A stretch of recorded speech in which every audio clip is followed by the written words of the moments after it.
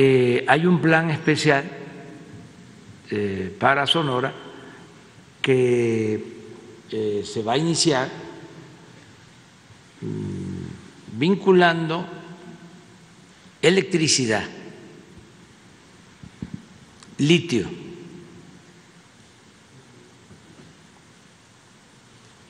baterías e industria automotriz.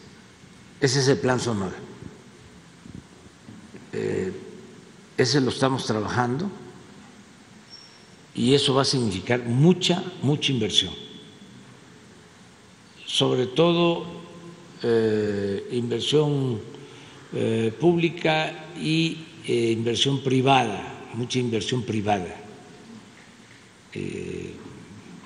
para el desarrollo, porque tiene Sonora como Chihuahua, como Baja California, como Coahuila, como Tamaulipas, todos los estados fronterizos tienen eh, muchas posibilidades de crecimiento